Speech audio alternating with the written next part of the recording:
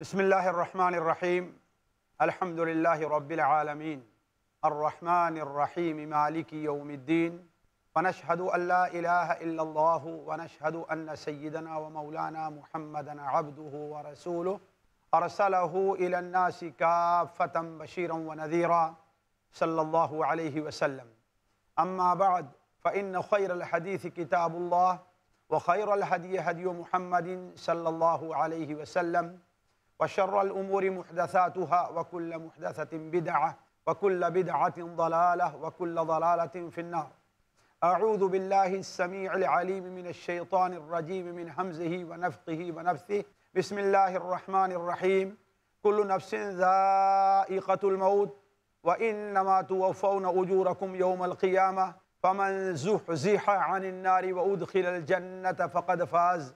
وما الحياة الدنيا إلا متاع الغرور.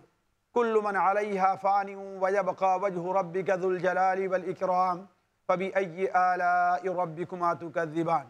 سبحانك لا علم لنا إلا ما علمتنا إنك أنت العليم الحكيم. رب اشرح لي صدري ويسر لي أمري. واحلل عقدة من لساني يفقه قولي. واحلل عقدة من لساني يفقه قولي. عزیز ساتھیوں، پیارے سامعین، موت ایک ایسا لفظ ہے جو ہر شخص کے نزدیک جانا اور پہچانا ہے۔ اس کی تعریف کرنا کوئی فائدے کی چیز نہیں ہے۔ ہر شخص جانتا ہے کہ اس جسم انسانی میں روح کا باقی رہنا اس کی زندگی ہے اور اس جسم سے روح کا نکل جانا یہ اس کی موت ہے۔ زندگی کیا ہے؟ عناصر کا ظہور ترتیب۔ موت کیا ہے؟ انہی اجزاء کا پریشان ہونا۔ موت ایک حقیقت ہے۔ موت ایک ایسی چیز ہے جس کے بارے میں آج تک دنیا کے دو آدمیوں نے اختلاف نہیں کیا ہے۔ اسلام کے اندر بھی موت ایک ایسی چیز ہے جس کے اوپر ایمان لے آنا ضروری ہے۔ اور اس پر ایمان لانے کا معنی یہ ہے کہ انسان اپنے دل سے اور اپنے یقین سے یہ مانے کہ موت کو اللہ تبارک و تعالی نے ہر جاندار پر طاری کیا ہے۔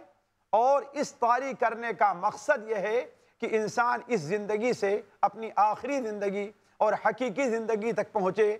جہاں پر اس کی ملاقات، اس رب کائنات، جس نے اسے اس دنیا میں ساری نعمتوں سے نوازا ہے، اس سے ہو، پھر وہاں پر انسان ان نعمتوں کا استعمال کیسے کیا ہے، حق کیا ہے یا نہ حق کیا ہے، اس کا جواب دہ ہوگا۔ موت سے متعلق اسلامی تعلیمات جو ہمیں بتلاتی ہیں، ان میں سے چند ایسی چیزیں ہیں جس پر خصوصی توجہ دینے کی ضرورت ہے۔ مثال کے طور پر، شرعی نقطۂ نظر سے موت ایک ایسی چیز ہے جو ہر جاندار کو آنے والی ہے۔ کوئی بھی جاندار چیز جو اس دنیا میں ہے، وہ جنوں کی شکل میں ہے، وہ انسانوں کی شکل میں ہے، پرندوں کی شکل میں ہے، چرندوں کی شکل میں ہے، درندوں کی شکل میں ہے۔ کسی بھی شکل میں ہے، اسے موت آنی ہے۔ جسے زندگی ملی ہے، اسے موت آ کر کے رہے گی، اسے موت سے رستگاری نہیں ہے۔ اللہ تبارک و تعالی نے قرآن مجید میں اس حقیقت کو متعدد جگہ، بہت سی جگہوں پر بڑے واضح اور دو ٹوک الفاظ میں واضح کیا ہے۔ چنانچہ اللہ تبارک و تعالی فرماتا ہے، کل نفس ذائقت الموت۔ ہر نفس کو موت کا مزہ چکھنا ہے۔ انما توفون اجورکم یوم القیامہ۔ اور موت کے بعد جب قیامت کا دن آئے گا، تو تمہارے اعمال کا تمہیں پورا پورا بدلہ دیا جائے گا۔ اللہ تعالیٰ سورہ الرحمن میں جو عام طور پر لوگ پڑھتے اور یاد رکھتے ہیں، اللہ تعالیٰ فرماتا ہے، کل من علیہ فان۔ کل من علیہ فان، وجبقا وجہ ربک ذو الجلال والاکرام۔ اس زمین کے اوپر کیا ہے؟ جو کچھ ہے، ایک دن فنا ہو جائے گی۔ انسان ہے، اس پر موت تاری ہوگی، وہ بھی فنا ہو جائے گا۔ بلکہ انسان نہیں، اس روئے زمین کی ہر چیز پر موت تاری ہونے والی ہے۔ لیکن انسان کی موت، جنات کی موت اور ان جمادات کی موت کے اندر فرق ہے۔ لیکن فنا ہر ایک کو ہے۔ وَيَبْقَى وَجْهُ رَبِّكَ ذُو الْجَلَالِ وَالْإِكْرَامِ۔ صرف تیرے رب ذوالجلال کی جو ذات ہے، وہی باقی رہے گی اور کوئی چیز باقی نہیں رہے گی۔ حتیٰ کی ساتھیوں، نبی کریم صلی اللہ علیہ وسلم ہمیں اور آپ کو یہ تعلیم دیتے تھے کہ اپنی روز آنا تحجد کی دعا میں آپ صلی اللہ علیہ وسلم جو دعا کیا کرتے تھے تحجد کی نماز میں جو دعا کیا کرتے تھے، ان میں سے بعض دعاؤں کے الفاظ یہ ہیں کہ آپ صلی اللہ علیہ وسلم پڑھا کرتے تھے۔ مائی عائشہ رضی اللہ تعالیٰ اس حدیث کی روایت کرنے والی ہیں۔ اور صحیح مسلم شریف میں یہ روایت ہے کہ آپ صلی اللہ علیہ وسلم فرماتے تھے، اعوذ بعزتک الذی لا الہ الا انت الذی لا يموت والجن والانس يموتون اعوذ میں پناہ چاہتا ہوں۔ اے اللہ تعالیٰ، تیری ذات، تو لا الہ الا انت تو اکیلا معبود ہے۔ تیرے علاوہ کوئی پوجنے کے لائق نہیں ہے۔ میرا یہ ایمان ہے کہ تیری ہی ایسی ذات ہے جس کے اوپر موت تاری نہیں ہوگی۔ والجن والانس یموتون۔ اس روئے زمین پر خواہ جن بس رہے ہیں یا انسان بس رہے ہیں، سارے کے سارے مرنے والے ہیں اور ہر ایک کے اوپر موت تاری ہونے والی ہے۔ بلکہ ساتھیوں اس دنیا میں اگر اللہ تعالیٰ نے سب سے پیاری اور سب سے محبوب اور سب سے اپنے نزدیک عزیز چیز کسی کو پیدا کیا ہے، تو وہ حضرت محمد مصطفیٰ صلی اللہ علیہ وسلم کی ذات بابرکات ہے۔ آپ سے عزیز اور اکرم اور محبوب اور خلیل چیز اللہ تعالیٰ نے کسی اور کو پیدا نہیں کیا ہے۔ اس کے باوجود اللہ تبارک و تعالیٰ نے مقدر کیا ہے کہ نبی کریم صلی اللہ علیہ وسلم کو بھی موت آئے۔ چنانچہ قرآن مجید سورہ الزمر کے اندر اللہ تعالیٰ ارشاد فرماتا ہے انکا میتن و انہم میتون ثم انکم یوم القیامت عند ربکم تختصمون. یاد رکھیں، آج آپ پر ایمان نہیں لے آتے، نہ ایمان لے آئیں۔ آج آپ کی تقویب کرتے ہیں تقویب کرتے رہیں۔ آپ کو جھٹلا رہے ہیں جھٹلاتے رہیں۔ آپ اس سے پریشان نہ ہوں۔ اس لیے کہ یہ دنیا بقا کے لیے نہیں ہے۔ کیا وہ یہ سمجھتے ہیں؟ کہ آپ کو جھٹلا دیے، اس دنیا میں معاملہ ختم ہو گیا؟ نہیں، ایک ایسا دن آنے والا ہے آپ کے اوپر بھی موت طاری ہو جائے گی۔ وَإِنَّهُمْ مَيَّتُونَ۔ اور یہ آپ کے جو مخالفین ہیں، یہ بھی مر جائیں گے۔ پھر قیامت کے دن اپنے رب کے پاس تم دونوں کا فیصلہ ہوگا۔ تو جب نبی کریم صلی اللہ علیہ وسلم اللہ تعالیٰ کی اتنی عزیز اور محبوب ذات ہے ان کے اوپر موت تاری ہو سکتی ہے۔ تو باقی دوسری چیزیں کیا رہ گئیں؟ یہ ہمارے یہاں الگ الگ قصے بیان کیے جاتے ہیں کہ فلاں صاحب نہیں مرے، فلاں صاحب نہیں مرے۔ یہ ساری چیزیں اسلامی تعلیمات کے خلاف ہیں۔ سنن ابن ماجہ میں، مسند احمد میں، حضرت انس ابن مالک سے روایت ہے کہ نبی کریم صلی اللہ علیہ وسلم کی وفات کا جب وقت تھا، آپ کی وفات کے وقت آپ لوگ سن چکے ہیں اس سے پہلے کہ بڑی سخت تکلیف ہوتی تھی۔ آپ کو بڑی پریشانی تھی۔ اتنے میں آپ کی پیاری اور عزیز بیٹی حضرت فاطمہ رضی اللہ تعالیٰ عنہ آپ کے پاس آتی ہیں اور آپ کی تکلیف اور پریشانیوں کو دیکھ کر کے رو پڑی، برداشت نہیں ہوا، کہنے لگی واہ کرب ابتا، ہائے میرے باپ کی پریشانی، ہائے میرے باپ کی تکلیف۔ نبی کریم صلی اللہ علیہ وسلم نے فرمایا، اے میری بیٹی، لا کرب علی ابی کی بعد اليوم، لا کرب علی ابی کی بعد اليوم، تیرے باپ کے اوپر آج کے بعد کوئی تکلیف نہیں ہوگی تیرے باپ پر او وقت آ چکا ہے، او وقت تیرے باپ پر آ چکا ہے کہ اللہ تعالیٰ اس وقت سے کسی کو بخشنے والا نہیں ہے۔ یعنی موت کا وقت آ چکا ہے، پریشان نہ ہو۔ ہماری اور تمہاری ملاقات قیامت کے دن ہوگی۔ تو عرض کرنے کا مقصد یہ ہے ساتھیوں اسلامی تعلیم کے نقطۂ نظر سے ہر جاندار کے اوپر موت تاری ہونے والی ہے۔ وہ جن ہے، وہ انس ہے۔ وہ نیک ہے، وہ برا ہے، وہ نبی ہے، وہ امتی ہے، وہ مالدار ہے، وہ غریب ہے۔ کوئی بھی ایسا شخص نہیں ہے جو بغیر موت کے باقی رہ جائے۔ یہ اسلامی تعلیم کا موت کے بارے میں خلاصہ ہے۔ دوسری چیز، اسلامی تعلیم جو ہمیں موت کے بارے میں آپ کو تعلیم دیتی ہے، قرآن اور حدیث سے ہمیں اور آپ کو وہ تعلیم ملتی ہے کہ موت کا ایک وقت متعین ہے۔ ہر جاندار کی موت کا وقت متعین ہے۔ اور جو موت کا وقت اللہ تعالیٰ کی طرف سے متعین ہو چکا ہے، اس سے ایک سیکنڈ بھی آگے اور پیچھے نہیں ہو سکتا۔ ہر جاندار کو جو موت آنے والی ہے، اس کے وقت ہی پر آنے والی ہے۔ ساری دنیا چاہ لے کسی کو موت دینے کے لیے، قتل کرنے کے لیے۔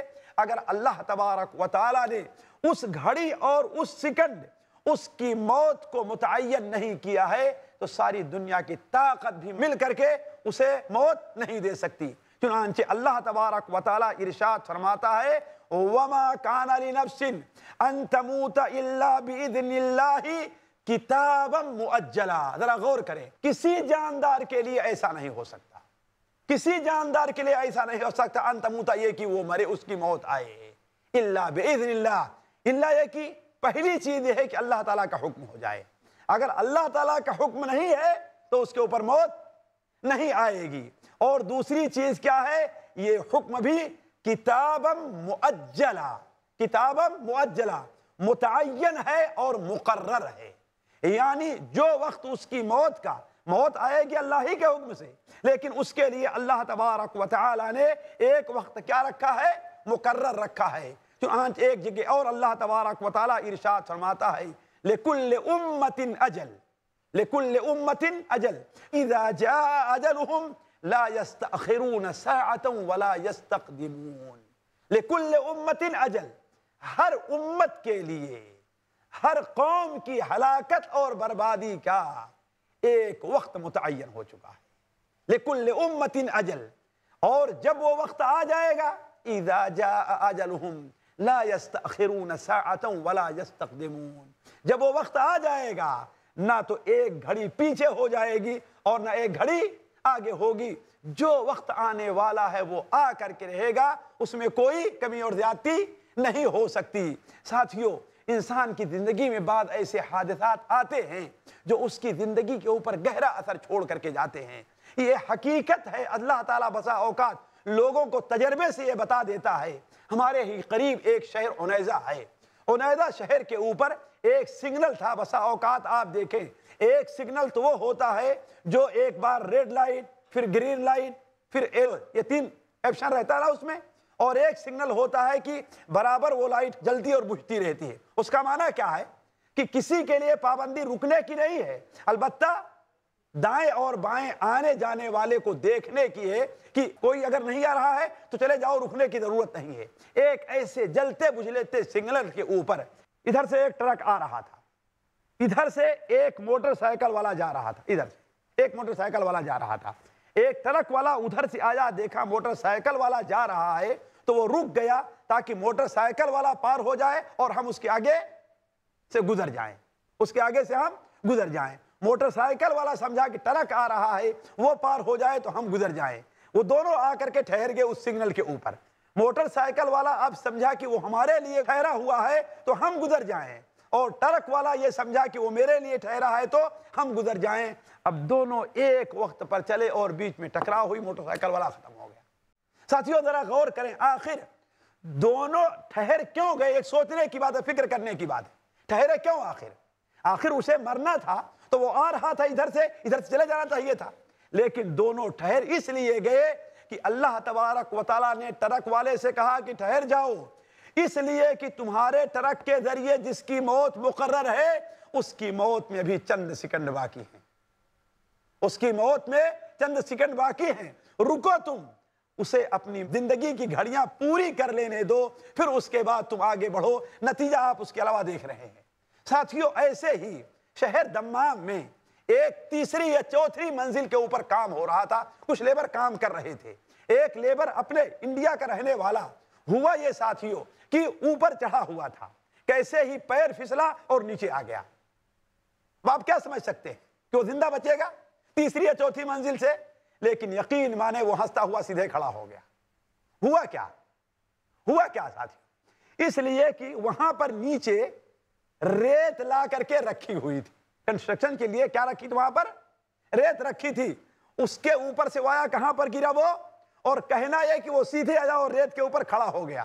تھوڑی دیر میں دیکھتے ہیں لوگ پریشان ہیں۔ ادھر سے لوگ بھاگ کر کے آئے، ادھر سے بھاگ کر کے آئے، ادھر سے بھاگ کر کے آئے۔ اس کے ساتھ ہی اوپر سے اتر کر کے آئے کہ فلاں، جو اپنے ہی ملکوں کا تھا، اب تو کیا ہوا وہ؟ ختم ہو گیا۔ لیکن دیکھتے ہیں لوگ کہ ہنستے ہوئے، گرد کو جھاڑتے ہوئے وہ کھڑا ہو گیا ہے۔ اب ہر آدمی اس سے کہنے لگا کہ ماشاء اللہ، سبحان اللہ، یہ اللہ۔ اور ہمارے ہاں جیسے ایک رواج ہے اچھا بھائی مٹھائی کھلاؤ۔ اللہ نے تمہیں مصیبت سے بچا لیا ہے، اب ہمیں مٹھائی کھلاؤ۔ دیکھیے ساتھیوں جو وقت اللہ کی طرف سے موت کا متعین ہے، وہ ٹلنے والا نہیں ہے۔ وہ ٹلنے والا نہیں ہے۔ اور اللہ تبارک و تعالی اس شخص کو دیکھیے، اتنے اوپر سے بچا لے رہا ہے جہاں سے وہ، اسے مر جانا چاہیے۔ ہوا کیا وہ بڑا خوشی خوشی روڈ کو پار کر کے ادھر بقالہ جس کو کہتے ہیں، ایک دکان پر گیا کہ وہاں سے مٹھائی یا ٹافی یا چاکلیٹ لے کر کے آئے۔ ادھر سے یہ جا رہا تھا اور اس طرف سے ایک تیز گاڑی آ رہی تھی، اسے ٹھوکر ماری اور وہیں پر ختم ہو گیا۔ ذرا سے جائے اس کی موت کا جو وقت تھا، اگر وہ سیڑھیوں سے اتر کر کے آتا تو اس وقت پر نہیں پہنچ سکتا تھا۔ اسے پہنچنے میں دیری لگتی۔ اسی لیے اللہ تبارک و تعالی نے کہا ہے، تیری موت کا وقت آ چکا ہے۔ آ جا تو، بچانے والے ہم ہیں، لیکن تیری موت اس جگہ نہیں بلکہ یہاں واقع ہونے والی ہے۔ تو اہل سنت و جماعت، علماء، مسلمانوں کا عقیدہ یہ ہے، قرآن اور حدیث کی روشنی میں کہ موت کا ایک وقت متعین ہے۔ جو وقت مقرر ہے، اس سے آگے اور پیچھے ایک سیکنڈ نہ پہلے موت آ سکتی ہے اور نہ ایک سیکنڈ بعد میں موت آ سکتی ہے۔ صحیح مسلم شریف کی مجھے ایک حدیث یاد آئی۔ حضرت ام حبیبہ رضی اللہ تعالیٰ عنہ نبی کریم صلی اللہ علیہ وسلم کی زوجہ محترمہ ہیں۔ آپ صلی اللہ علیہ وسلم ان کے گھر میں داخل ہوئے تو وہ ایک دعا کر رہی تھی۔ وہ ایک دعا کر رہی تھی۔ دعا یہ کر رہی تھی کہ اے اللہ تبارک و تعالی، ہمارے شوہر کو یعنی اللہ کے رسول صلی اللہ علیہ وسلم کو، میری زندگی میں ان کو باقی رکھ، ہمارے باپ ابو سفیان کو میری زندگی تک باقی رکھ، میرے بھائی معاویہ کو میری زندگی میں باقی رکھ، تاکہ میں انہیں دیکھ کر کے فائدہ حاصل کرتی رہوں۔ نبی کریم صلی اللہ علیہ وسلم نے کہا، اے اللہ کے بندی، تم نے ایسی چیز کا سوال کیا ہے آجالم مضروبہ۔ ایسی مدت کا سوال کیا ہے جس کا فیصلہ اللہ تعالیٰ کی طرف سے ہو چکا ہے۔ اور ایسے دنوں کا سوال کیا ہے، جو دن اللہ تعالیٰ کے نزدیک گنے جا چکے ہیں وہ ارزاق مقصومہ اور ایسی روزی کا سوال تم کر رہی ہو، جو اللہ تعالیٰ کی طرف سے تقسیم ہو چکی ہے۔ اس کے برخلاف اگر تو یہ دعا مانگتی کہ اے اللہ تعالیٰ مجھے جہنم سے آزاد کر دے اور جنت میں داخل کر دے تیرے لیے بہتر ہے۔ تو عرض کرنے کا مقصد یہ ہے کہ آپ کا بیان فرمایا؟ تم نے ایسی چیز کا سوال کیا کہ آجالم مضروبہ یعنی وہ اجل، وہ مدت کیا ہے؟ اللہ کی طرف سے متعین ہے۔ جو میری موت کا جو وقت متعین ہے، تیرے باپ کی موت کا جو وقت متعین ہے، تیرے بھائی کی موت کا جو وقت متعین ہے، اس میں آگے پیچھے اب کچھ بھی نہیں ہو سکتا۔ تو دوسری چیز موت سے پہلے ہمیں جو تعلیم ملتی ہے، وہ یہ کیا ہے کہ ہر انسان کو یقین رکھنا چاہیے کہ موت کا ایک وقت متعین ہے، جب موت کا وقت آ جائے گا، تو اس سے نہ ایک منٹ آگے، نہ ایک سیکنڈ پیچھے۔ تیسری بات ساتھیوں موت سے متعلق جو ہمیں یقین رکھنا چاہیے، وہ یہ ہے کہ موت کا وقت کسی کو معلوم نہیں ہے۔ اپنی موت کا وقت کسی کو معلوم نہیں ہے۔ کوئی شخص یہ نہیں جانتا کہ میری موت کس جگہ اور کس گھڑی واقع ہوگی۔ کس جگہ واقع ہوگی اور کس دن واقع ہوگی کس گھڑی واقع ہوگی؟ کسی کو بھی اپنی موت کا وقت معلوم نہیں ہے۔ یہ اللہ تبارک و تعالی ہی جانتا ہے کہ کسی کی موت کب آنے والی ہے۔ چنانچہ اللہ تبارک و تعالی قرآن مجید میں بڑے واضح طور پر ارشاد فرماتا ہے، ان اللہ عنده علم الساعہ اللہ تبارک و تعالی کے پاس ہی قیامت کا علم ہے۔ قیامت کب آئے گی؟ یہ اللہ تعالیٰ کو معلوم ہے۔ وَيُنَزِّلُ الْغَيْثِ۔ اور اللہ تبارک و تعالی ہی بارش نازل کرتا ہے۔ وہ اللہ تعالیٰ ہی جانتا ہے کہ بارش کب نازل ہوگی اور بارش کب آئے گی۔ کسی کو اپنی بارش کے بارے میں یہ پتا نہیں ہے۔ ابھی ساتھیوں دور نہ جائیے۔ پچھلے سٹرڈے اور سنڈے کی بات ہے۔ میں سفر پہ تھا ادھر جنوب ہند کی جنوب ہند کی طرف سے میں آ رہا تھا۔ جنوب ہند کی طرف سے اس دن کے بارے میں موسمیات کے ماہرین نے کہا کہ آج یعنی جو سنڈے کا دن تھا کہ آج گرمی بہت زیادہ رہے گی۔ آج گرمی بہت زیادہ رہے گی۔ لیکن اللہ کا کرنا یہ ساتھیوں کہ میں آ رہا تھا، رات کا وقت تھا۔ ایک بجے سے جب بارش شروع ہوئی ہے، ایک بجے سے، تو صبح سات، آٹھ بجے تک بارش کا سلسلہ بند نہیں ہوا، چلتی ہی رہی ہے اور اس دن گرمی کچھ بھی نہیں تھی۔ اس دن گرمی کچھ بھی نہیں تھی۔ تو اللہ تبارک تعالیٰ، ان اللہ عنده علم الساعہ اللہ تبارک تعالیٰ ہی کے پاس قیامت کا علم ہے۔ وہ ينزل الغیث اور بارش کب آئے گی؟ کتنی آئے گی؟ کس جگہ پر آئے گی؟ اس کا علم کس کے پاس ہے؟ اللہ کے پاس ہے۔ وَيَعْلَمُ مَا فِي الْأَرْحَامِ۔ اور رحم مادر میں کیا ہے؟ ماں کے پیٹ میں کیا ہے؟ لیکن یہ تین چیزیں ایسی ہیں۔ کہ ان کے مقدمات کے بارے میں انسان کچھ اندازہ لگا سکتا ہے جیسا کہ آپ جانتے ہیں۔ قیامت جیسا کہ اگلی مجلسوں میں یہ بات ہمارے آپ کے سامنے آئے گی کہ قیامت کی آمد کی اللہ نے کچھ نشانیاں بیان کر دی ہیں۔ ہے نا؟ آمد کی نشانیاں بیان کر دی ہیں۔ دوسری چیز یہ ہے کہ آج جدید آلات کے ذریعے جب بچہ بن جاتا ہے، تیار ہو جاتا ہے تو یہ اندازہ لگا لیا جاتا ہے کہ لڑکا ہے کہ لڑکی ہے۔ نا؟ اور موسمیات کے ماہرین جو ہیں، وہ ہوا کے رخ کو دیکھ کر کے یہ بتا دیتے ہیں کہ بارش کا کیا اندازہ ہے۔ لیکن اللہ تعالیٰ نے دو چیزیں جو اس کے بعد بیان کی ہیں، وہ غور کرنے کی۔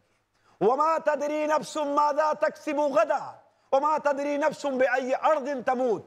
کسی نفس کو یہ معلوم نہیں کہ کل کیا کمائے گا، کل کیا کرے گا، کل کیا کھائے گا۔ کسی کو یہ معلوم نہیں ہے۔ انسان پلان بنا کر کے رات میں سوتا ہے لیکن صبح کو نہیں اٹھ پاتا۔ انسان پلان بنا کر کے رکھتا ہے، ایک جگہ کے لیے جانا چاہتا ہے، لیکن اس کا جہاز، اس کا پلین، اس کی ٹرین چھوٹ جاتی ہے اور پہنچ نہیں پاتا۔ وما تدری نفس ماذا تکسب غدا؟ وما تدری نفس بأي ارض تموت؟ اور کسی نفس کو یہ معلوم نہیں ہے کہ اس کی موت کس جگہ واقع ہوگی تو کہنے کا مطلب یہ ہے ساتھیوں، موت ایک ایسی حقیقت ہے جس کا علم کسی کے پاس نہیں ہے۔ اللہ نے نہ یہ علم کسی فرشتے کو دیا ہے، نہ کسی عالم کو دیا ہے، نہ کسی نبی کو دیا ہے۔ کس کے پاس رکھا ہے؟ ان اللہ عنده علم الساعة۔ وينزل الغيث۔ ويعلم ما في الارحام وما تدري نفس ماذا تكسب غدا۔ وما تدري نفس بأي ارض تموت۔ کسی بھی نفس کو معلوم نہیں ہے کہ کل کیا ہونے والا ہے۔ تو کہنے کا مطلب یہ بات یہاں تک پہنچی تھی کہ اللہ تبارک و تعالی نے موت کے بارے میں ہمیں اور آپ کو جو تعلیم دی ہے، ان میں سے ایک یہ ہے کہ موت کا وقت کسی کو معلوم نہیں ہے۔ موت کا وقت متعین تو ہے، لیکن کسی کو معلوم نہیں ہے۔ اس کے بعد موت سے متعلق ہمیں اور آپ کو کن چیزوں پر یقین رکھنا چاہیے؟ کن چیزوں کو ماننا چاہیے؟ موت سے متعلق جن چیزوں پر یقین لانا اور ایمان لانا ضروری ہے اور کم لوگ توجہ دیتے ہیں، وہ یہ ہے جس کی موت کا وقت آتا ہے، وہاں پر فرشتوں کا حضور ہوتا ہے۔ موت کا جب وقت آتا ہے، تو وہاں پر فرشتے حاضر ہوتے ہیں اللہ تبارک و تعالیٰ کے۔ نیک آدمی کی موت کا وقت ہے یا برے آدمی کی موت کا وقت ہے، جب بھی ان کی موت کا وقت آئے گا تو اللہ تبارک و تعالیٰ کے فرشتے وہاں پر حاضر ہوں گے۔ قرآن مجید میں اللہ تبارک و تعالیٰ ارشاد فرماتا ہے، هو القاہر فوق عباده ویرسل علیکم حفظہ اللہ تبارک و تعالیٰ بندوں کے اوپر سے قاہر، قابض اور ان کے اوپر کنٹرول رکھنے والا ہے۔ وَيُرْسِلُ عَلَيْكُمْ حَفَظًا اور تمہارے اوپر اللہ تعالیٰ فرشتوں کو بطور نگراں کے بھیجتا ہے۔ بطور نگراں کے بھیجتا ہے، تم کیا کرتے ہو؟ کیا بولتے ہو؟ کیا کھاتے ہو؟ تم ہنستے ہو کہ گالیاں دیتے ہو؟ دعائیں دیتے ہو کہ گالیاں بکتے ہو؟ یہ ساری چیزوں کو نوٹ کرنے کے لیے اللہ تعالیٰ نے وَيُرْسِلُ عَلَيْكُمْ حَفَظًا تمہارے پاس اللہ نے فرشتوں کو بھیج دیا ہے۔ لیکن یہ فرشتے جہاں تمہاری باتوں کو لکھنے کے لیے ہیں، وہی کچھ فرشتے وہ ہیں جو تمہاری حفاظت کے لیے ہیں۔ مصائب سے، خطرات سے پریشانیوں سے تمہاری حفاظت کرتے ہیں، لیکن تم میں سے کسی کا موت کا جب وقت آ جاتا ہے، تو ہمارے فرشتے فوراً اس کی روح قبض کر لیتے ہیں۔ اور اس کے اندر کوئی کوتا ہی نہیں کرتے فرق یہ ہوتا ہے ساتھیوں کہ جو نیک لوگ ہوتے ہیں، فرشتے ان کے پاس آتے ہیں تو نیک اچھی صورت میں آتے ہیں۔ اچھی سیرت ان کی ظاہر ہوتی ہے، خوشبو اس سے اٹھتی رہتی ہے۔ اور جو نیک لوگ ہوتے ہیں انہیں خوشخبریاں سناتے ہیں۔ اللہ تعالیٰ قرآن مجید میں ارشاد فرماتا ہے، ان الذين قالوا ربنا الله ثم استقاموا تتنزل عليهم الملائکہ۔ جو لوگ نے کہا کہ ہم ایمان لے آئے، ہمارا رب کیا ہے؟ اللہ ہے۔ ثم استقاموا۔ پھر اس کے اوپر وہ جمے رہ گئے۔ تو تتنزل علیہم الملائکہ ان کے اوپر فرشتے نازل ہوتے ہیں۔ علماء کہتے ہیں، ایک مومن کے پاس فرشتے تین وقت میں آتے ہیں ساتھ۔ تین وقت میں آتے ہیں۔ ایک وقت وہ جب ان کی وفات کا وقت ہوتا ہے اور کہتے ہیں، گھبراؤ نہیں، آگے کی منزل آسان ہے۔ دوسرا وقت کب؟ جب انہیں قبر میں رکھا جاتا ہے، انہیں خوشخبریاں دینے کے لیے۔ اور تیسرا وقت کب؟ جب حساب اور کتاب کے لیے انہیں اٹھایا جاتا ہے۔ تب وہاں پر فرشتے آیا کرتے ہیں۔ اور جو برے لوگ ہیں، ان کے پاس بھی فرشتے آتے ہیں۔ لیکن ان کے پاس فرشتے بری شکل میں آتے ہیں۔ ٹاٹ لے کر کے آتے ہیں۔ بدبودار لباس کے اندر آیا کرتے ہیں۔ انہیں جھڑکتے ہیں اور ان کی روح کو سختی سے قبض کرتے ہیں۔ علا کل حال، کہنے کا مطلب یہ ہے کہ ہر انسان کے پاس جب اس کی موت کا وقت آتا ہے، تو اللہ تبارک و تعالی وہاں پر فرشتوں کو بھیجتا ہے۔ روح نکالنے والا فرشتہ اصل میں ایک ہوتا ہے۔ وہ ملک الموت جن کو کہا گیا ہے۔ اور باقی جو فرشتے ان کے معاون اور متعاون ہوا کرتے ہیں، لیکن ہر ایک کے پاس فرشتوں کی آمد ہوتی ہے۔ آج کی مجلس یہیں پر ہم ختم کرتے ہیں۔ اگلی مجلس کے لیے انشاءاللہ اللہ تبارک و تعالیٰ سے توفیق مانگتے ہیں کہ اللہ تعالیٰ ہمیں اور آپ کو بس خیر زندہ رکھے۔ سبحانک اللہم و بحمدک۔ أشهد أن لا إله إلا أنت أستغفرك وأتوب إليك.